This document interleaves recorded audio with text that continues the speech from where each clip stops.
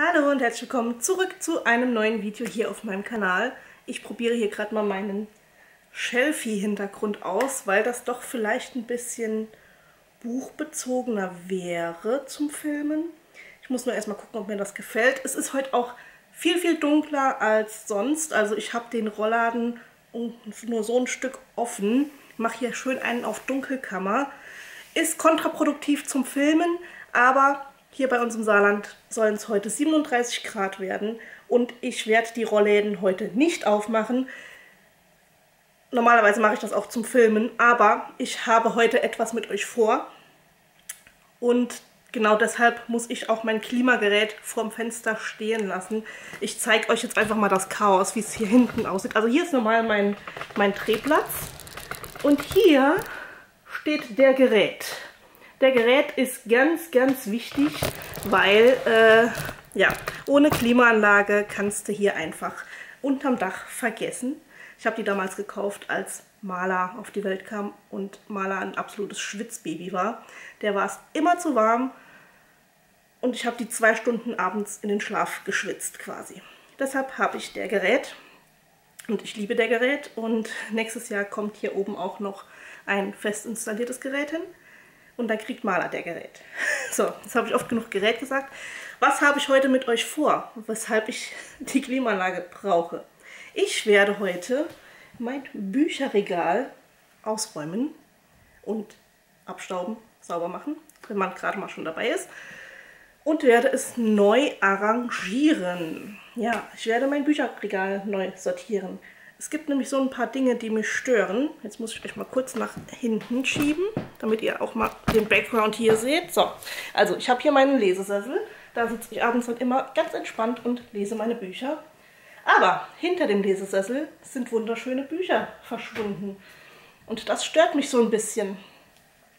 Deshalb werden wir das bisschen umsortieren und werden dort Bücher einsortieren, die jetzt keinen riesengroßen Stellenwert für mich haben, so wenn verschiedene Größen von Büchern dabei sind oder wenn äh, es einfach Bücher sind, die mir optisch zwar gefallen, aber vom Inhalt nicht so und ich mich trotzdem noch nicht überwunden habe, sie auszusortieren. Ich könnte mich auch einfach wieder hinsetzen.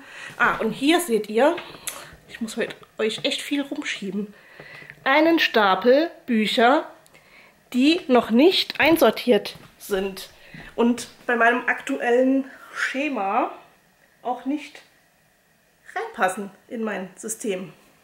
Und deshalb müssen wir uns heute was überlegen, wie wir das Ganze anordnen. Darunter sind auch aktuell, ich muss mal gucken, 1, 2, 3, 4, 5, 6, 7 Rezensionsexemplare, die innerhalb der letzten Woche hier angekommen sind. Irgendwie, ähm, ja, muss ich mal gucken, wie ich das mit meinen Rezensionsexemplaren mache es gab halt ein paar Lieferschwierigkeiten und deshalb kam jetzt alles so geballt. Drei davon wären eigentlich schon äh, Mitte Juli gekommen. Aber kriegen wir alles hin, ist gar kein Thema. Wir lesen ja gern. Ja, ich würde sagen, wir babbeln jetzt gar nicht lang. Ich räume jetzt zuerst mal alles aus und dann hören wir uns wieder.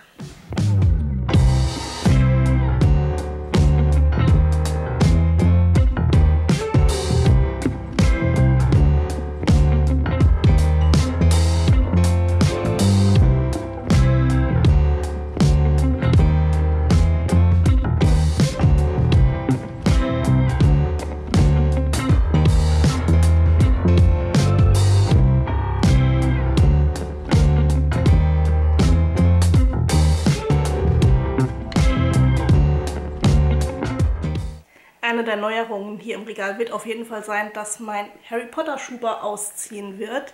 Ich habe nämlich neue Wandregale für neben die Couch und eins davon wird mit meinem ganzen Harry Potter Stuff zugeschmissen, damit das aus dem Regal quasi verbannt ist und damit da halt einfach nochmal mehr Platz für andere Bücher ist.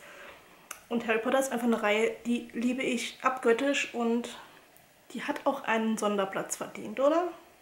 Vor allem wird dann gegebenenfalls auch endlich mal mein drittes Kind einen Platz kriegen. Ich weiß nicht, ob ihr es mitbekommen habt, aber ich habe mir ja irgendwann mal die Hedwig gegönnt. Ich dachte, die ist so groß Sie ist ein bisschen größer und deshalb äh, ja, stand die die ganze Zeit quasi unter meinem Lesesessel. Aber das soll sich jetzt ändern. Gegebenenfalls wird die nämlich dann auch auf dem Regal dort einziehen.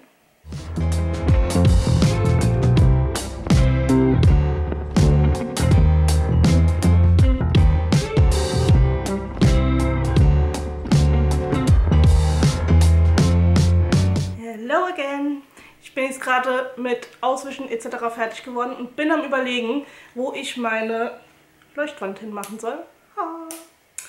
Weil die stand ja vorher hier. Jetzt müsst ihr euch vorstellen, darunter sitzt mein Lesesessel, ja? Und wenn ich lese, mache ich immer diese Lampe an, damit ich ein bisschen mehr Licht habe. Weil die obere Lichterkette kaputt ist. Ich müsste mir da mal eine neue kaufen. Und diese kleinen LED-Lampen, die machen zum Lesen nicht sonderlich hell. Ja, ich würde jetzt gerne mal probieren, zumindest testweise, sie nach oben zu stellen in das große Fach, das man auf den Fotos ja sowieso nie sieht. Ob es mich da oben stört, ob mir das Licht fehlt, das reflektiert voll. Oder ob ich sie dann doch wieder nach unten nehme. Also ich stelle sie jetzt mal hoch. Es kann aber sein, dass sie im nächsten Video schon wieder unten steht.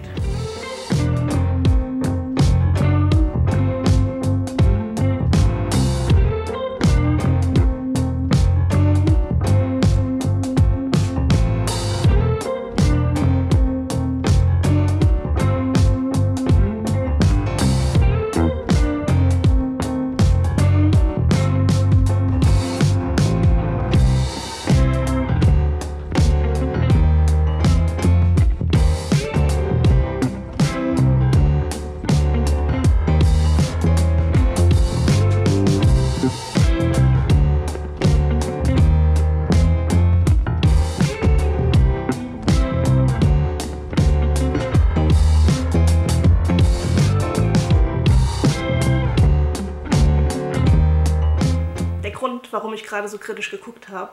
Ich weiß nicht, wo ich meine Throne of Glass Bücher hingestellt habe. Ich kann es euch nicht sagen. Sie sind nicht auf der Couch, nicht auf dem Tisch, nicht auf dem Tisch, nicht in der Küche. Ich weiß gerade nicht, wo ich sie hingestellt habe. Aber Haus verliert nichts. Irgendwo müssen sie sein. Ist ja erst eine halbe Stunde her. Das äh, spricht nicht gerade für meine Erinnerungsfähigkeit. Aber egal. Ja, ich habe jetzt die wichtigsten Bücher schon mal eingeräumt. Cassandra Clare, Clockwork-Reihe und Chronik der Unterwelt, die ähm, Sarah J. Maas Bücher. Hier kommt dann natürlich noch Draw of Glass hin. Und da oben kommt noch ein bisschen Deko rein. Und hier eventuell kommen die Hardcover hin und unten die Taschenbücher. Ich muss mal noch gucken, wie ich es mache. Ich werde mich da ein bisschen sortieren. Es ist ja in letzter Zeit einiges eingezogen. Wie gesagt, ich habe euch den Stapel vorhin gezeigt. Da müssen auf jeden Fall jetzt noch die beiden Schätzchen hier rein. Die sind neu. Dann äh, das zwei Bücher fürs New Adult Regal. Dann ist das hier noch eingezogen. Da freue ich mich schon sehr drauf. Und was natürlich sehr platzintensiv ist, der J. Christoph. Ne? Müssen wir nicht drüber reden. Außerdem äh, so, müssen auch noch die Rabenspatzen Pinguin-Jungs hier einziehen. Beziehungsweise, äh, ich lese ja gerade die Bücher im Buddy Read. Wir sind jetzt seit gestern bei Band drei. Vier durfte noch nicht einziehen, weil er noch zu teuer ist. Ich möchte halt gebraucht kaufen. Und ja, die kriegen auf jeden Fall einen Ehrenplatz, weil es eine ganz, ganz coole Reihe ist. Und ich glaube, die werde ich jetzt auch zuerst mal verräumen. Guten Abend. Es ist mittlerweile 20 Uhr. Ich bin abgeschminkt und umgezogen. Ich bin quasi schon couchfertig. Ich war heute Mittag nicht mehr ähm, am Drehen, weil ich meine Kleine abholen musste beziehungsweise äh, bin dann direkt mit ihr ins Naturbad hier ein paar Orte weitergefahren und mit dem Papa von der Kleinen. Und deshalb habe ich gesagt, drehe ich den Rest heute Abend. Im Sommer kann man das immer sehr gut machen, weil dann die Lichtverhältnisse ja trotzdem noch okayisch sind. Wahrscheinlich ist es jetzt sogar noch heller als heute Mittag, weil ich habe jetzt den Rollladen offen, damit ein bisschen Luft reinkommt. Ja, ich wollte euch aber natürlich mein neues Regal nicht vorenthalten. Wie gesagt, wir machen heute nur die zwei großen Fantasy-Regale. Und hier das New Adult Regal, das mache ich in einem anderen Video, weil ich da heute gesagt habe, ich lege den Fokus auf diese beiden Regale Man muss ja seine Zeit immer so ein bisschen einteilen. Ja, ich bin eigentlich sehr, sehr zufrieden. Also die Funkos sind so geblieben, wie sie sind. Die gefallen mir da auch recht gut. Aber das zeige ich euch gleich, wenn ich euch das Regal zeige. Wir fangen jetzt einfach mal oben an und erzähle euch, was ich mir wobei gedacht habe. Also ich habe ja eben schon erklärt mit der Box. Ich lasse die jetzt erstmal hier oben und gucke mal, ob es mir da gefällt. Dann habe ich hier so ein bisschen das Jugendbuchregal mit den ganzen Jugendbüchern. Hier ist noch eine Dystopie, aber gibt es halt nur Band 1 als Print. Deshalb steht das hier, weil es auch farblich ganz gut passt. Für meine Zwänge. Ja, da ist ja noch Platz. Hier kommt ja noch ähm, ein nächster Band, ich glaube nächstes Jahr. Und hier fehlt mir noch ein Band, aber das können wir auch noch ein bisschen aufrücken. Dann passt die Box natürlich nicht mehr hin, dann muss ich mal gucken, wo ich die hinmache. Aber noch ist es ja nicht so weit. Hier haben wir dann mein Mara Wolf Action, sage ich jetzt mal. Ich habe zwar auch noch zwei andere Bücher von ihr, aber die passen farblich gar nicht hier dazu. Deshalb stehen die woanders. Hier nebendran ist auch noch ein bisschen Jugendbuch mit Panem und Göttlich. Die Panem-Bücher haben ja vorher auch hier oben gestanden. Dann umgezogen hier in dieses Fach ist dann mein Reiche Sieben Höfe Regal quasi. Also die fünf Bücher mit diesen schönen Dusk Jackets. Hier der super coole Trank. Ich finde den ja echt so klasse. Schade, dass sie da nichts mehr macht. Ich hoffe, nach der Elternzeit macht sie weiter. Ja, mein Lieblings Esriel Print. Natürlich mit meinem Esriel und Farah. Dann kommt hier meine Crescent City Obsession Ecke. Ist noch nicht so groß, aber ich versuche mich auch immer zusammenzureißen. Hier dann Throne of Glass, da fehlen mir auch noch Bänder, also das wird auch noch ein bisschen aufrücken. Hier die Karte gab es auch mal bei Chester Phantoms, die fand ich so cool. Das sollen ja, glaube ich, äh, Bryce, Farah und Aelin sein wenn ich das richtig weiß. Ja, dann kommt hier meine Blood and Ash Ecke. Die habe ich mir ja selbst gemacht, weil ich sie so schön fand. Ah, die zwei habe ich mir übrigens auch selbst gemacht. Die ist gekauft, aber da habe ich mich geärgert und seitdem mache ich sie auch mal selbst, weil, ich weiß nicht, ob man es jetzt erkennt, hier ist die Schrift sehr, sehr undeutlich und verschmiert. Und ich habe, glaube ich, 60 Euro dafür bezahlt plus Versand und das fand ich ein bisschen heftig für eine Figur, die ja verschmuddelt ist. Deshalb habe ich sie jetzt angefangen selbst zu machen. Ja, Hawk und Poppy hier halt. Die zwei Lesezeichen, die gab es mal in meiner Canis Minor Art Mai Box, glaube ich. Oder April Box, ich weiß nicht mehr genau. Die gab es mal bei der Chest of Fandoms, glaube ich auch. Oder bei... Ne, ich glaube, die war in der Chest of Fandoms Box mit drin. Ja, und das Print, das finde ich so cool. Das ist eines meiner Lieblingsprints von Poppy und Hawk. Ja, damit das Regal nicht ganz so leer ist, geht hier meine Cassandra Clare Obsession los. Mehr habe ich aktuell davon nicht. Also das wird auch noch alles aufrücken, weil da gibt es ja noch die dunkle, ne, Queen of Air and Darkness und dann gibt es noch die dunklen Schriftrollen und, und, und, und, und, und, und. Lady Midnight und Lord of the Shadows habe ich jetzt schon. Dann gibt es aber noch Chain of Iron und Chain of Schlag mich tot. Also das sollte auch noch alles irgendwie hier rein, aber aktuell habe ich die noch nicht und deshalb sieht das so aus, wie es aussieht. Ja, hier geht es weiter mit den Chroniken der Unterwelt. Das hier sind allerdings äh, Cem und Tessa, die eigentlich in diese Reihe gehören. Vielleicht muss ich das mal ein bisschen umswitchen, weil vorher standen die Bücher hier und hier nebendran die Clockwork-Reihe. Ja, hier ist auch nochmal Cem ich liebe ja. Das ist mein absoluter Lieblingscharakter. Hier ist übrigens auch passend zum New York Institut mein New York Glas. Das ist mein Sparglas für unsere Reise nächstes Jahr. Dann geht es weiter. Hier ein bisschen Disney-Action. Und hier hat man das Babyschuhe. Das hier habe ich mal auf der Convention gekauft. Das ist ein Holzbrett, das ich niemals benutzen werde. Ja, hier geht die Obsidian-Reihe los. Also habe auch erst drei Stück. Das wird dann auch noch ein bisschen aufrücken. Hier fehlt noch der dritte Isara-Band und der fünfte quasi mit Belial. Äh, Crave wird wahrscheinlich ausziehen, weil ich vom zweiten so viel Schlechtes gehört habe und so viele Leute, die mir gesagt haben, das wird dir nicht gefallen. Ich werde Grave lesen, aber dann gegebenenfalls halt aussortieren. Deshalb durfte es jetzt nochmal ins Regal. Das hier ist halt wie gesagt gerade erst gekommen. Das ist ein Rezi-Exemplar. Das werde ich jetzt die Tage anfangen. Hier voll weihnachtlich, meine Weihnachtskugeln. Ja, dann das Reich der Vampire muss natürlich erstmal hier so aufgestellt werden, weil einfach schön. Und ein richtig, richtig cooles Cover.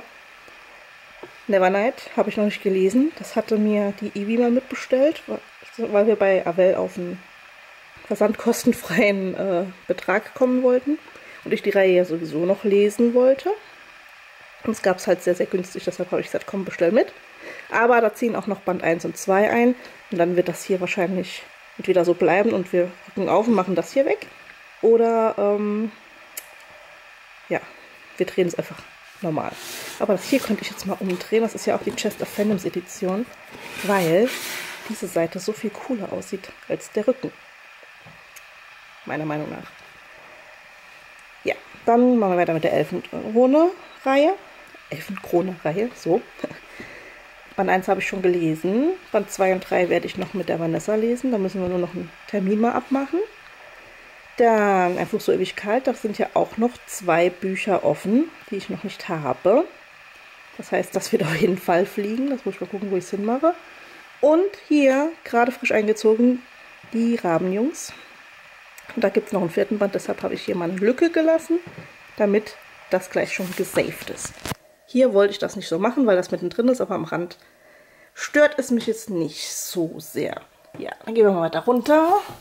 Hier habe ich auch eine Lücke gelassen, weil Aurora erleuchtet jetzt im, am 31. August erscheint und ich das auch vom Verlag zugeschickt bekomme.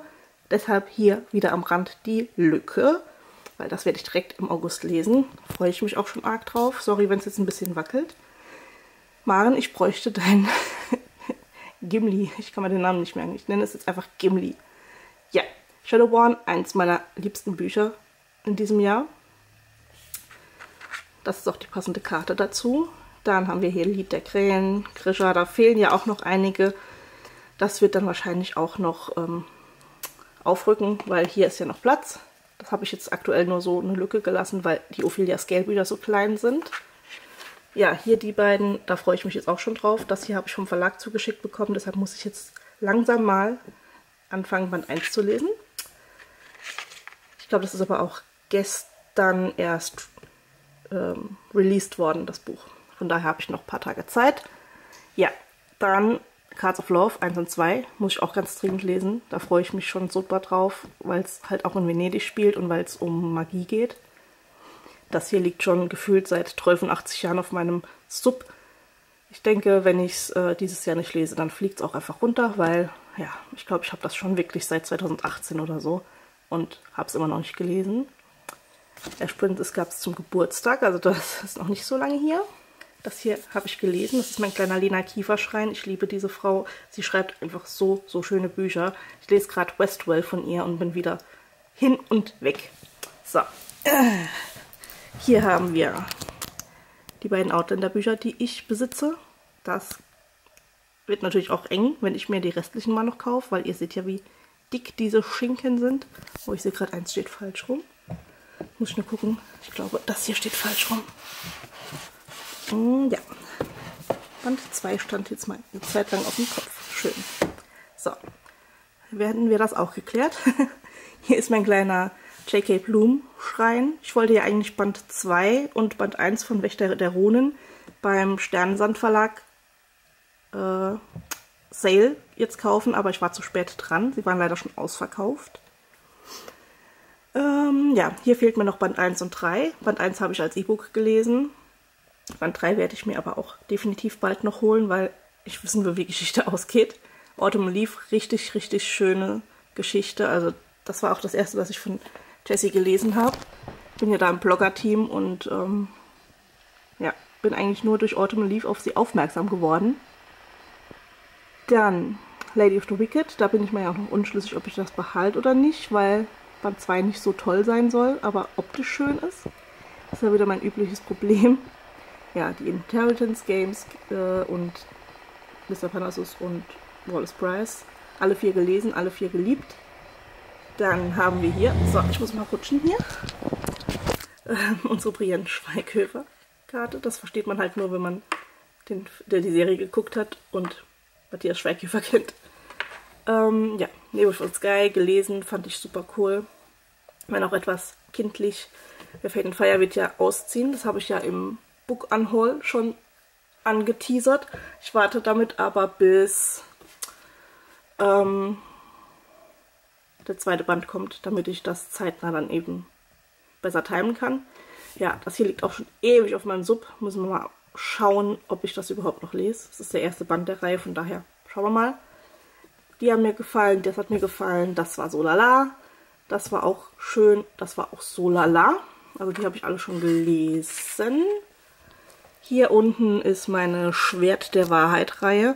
Also da fehlen mir tatsächlich von den alten auch, ich glaube noch zwei oder drei Bücher. Von den neuen fehlen mir noch einige. Da muss ich mal gucken, wenn ich mir die Reihe wirklich komplett noch kaufe, wo ich die dann hinmache. Ob ich das nicht dann splitte. Aber hier unten wäre noch Platz. Ich könnte dann die eine Reihe hier hinstellen, die andere unten. Machen wir gerade mal hier weiter. Soulbird ähm, habe ich eigentlich aussortiert. Aber ähm, ja, steht halt jetzt noch da, damit es nicht doof rumliegt. Hier fehlt mir der eine Band dazu. Den habe ich mal irgendjemandem ausgeliehen und nie wiederbekommen. Das da unten ist eigentlich so mein, ach ja, das ist von allen Größen irgendwas. Das ist auch ein bisschen Self-Publishing, bliblablub. Ich weiß nicht, wie ich es einsortieren soll, Regal. Aber hier steht ja die ganze Zeit der Lesesessel. Von daher sieht man die Bücher sowieso nicht. Und äh, ja, deshalb stehen die auch jetzt da unten, weil das wird mich, dieses Hoch- und Runtergewackel, das wird mich im Regal wahnsinnig machen. Ja, hier haben wir meine Nichten. Machen wir weiter. Ja, hier stehen die anderen beiden Mara Wolf Bücher. Da muss ich halt jetzt mal gucken, ähm, wie ich das mache. Ob ich die hier stehen lassen oder umziehen möchte. Ja, wisst, wie ich meine. Ja, hier haben wir noch Beyond Eternity. Habe ich ja gerade im vorletzten Video drüber gesprochen. Bad Influence von Stefanie Hasse hat mir sehr gut gefallen.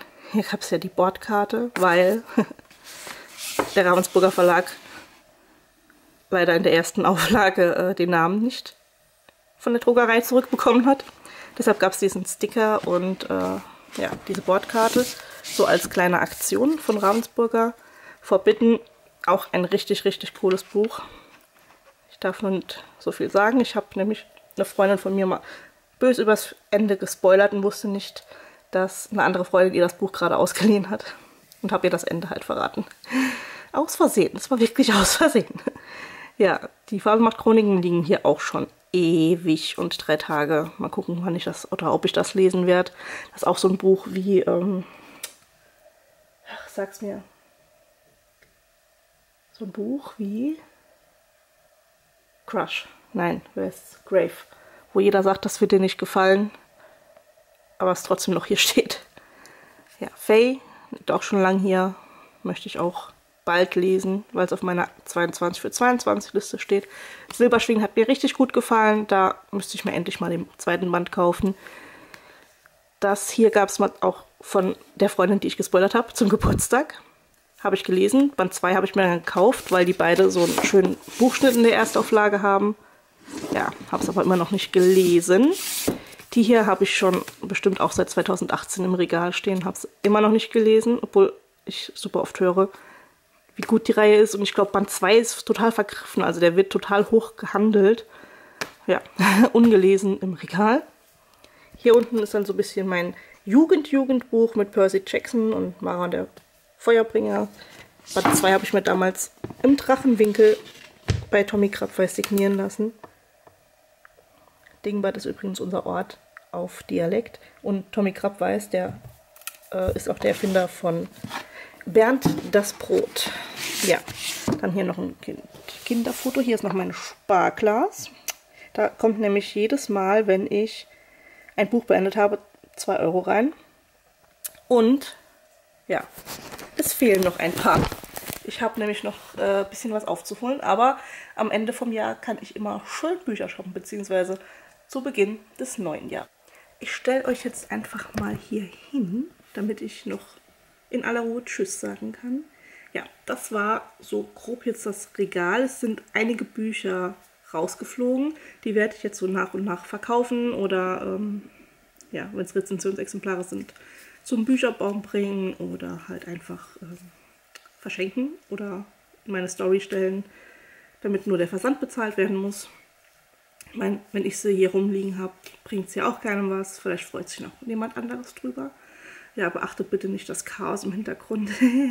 ich muss heute Abend noch ein bisschen aufräumen, weil hier noch ganz viel Deko steht. Also wie ihr gesehen habt, es ist noch gar nicht so viel Deko, gerade hier in den unteren Fächern, weil ich die ganzen Kerzen etc. mal weggemacht habe. Und ich habe mir vor ein paar Tagen noch ein paar Deko-Elemente bestellt, die ich hier ins Regal machen möchte. Die sind aber noch nicht angekommen.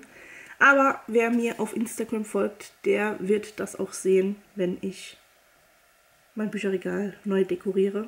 Und ja, es sind nur so ein paar Teile, aber die werden dem Regal, glaube ich, richtig Pfeffer geben. ja, das war's von mir. Ich hoffe, euch hat das heute mal etwas andere Video gefallen. Ihr könnt mir ja mal gerne in die Kommentare schreiben, was ihr davon haltet, wenn ich meinen Couch-Hintergrund wechsle und mich vors Regal setze. Ich finde das einerseits super schön, weil ich ja auch zum größten Teil über Bücher spreche, aber ich finde das immer so ein bisschen unruhig. Wisst ihr, wie ich meine? Ich finde so die Couch, die hat so was Gemütliches, ein schönes Grau und hinten dran der Bärenton. Ja, und Bücher sind halt immer so bunt. ja, könnt ihr mal sagen, was ihr davon haltet und ich würde sagen, das war's von mir. Lana und ich chillen uns jetzt auf die Couch, die liegt schon. Und dann sehen wir uns hoffentlich im nächsten Video wieder. Tschüss!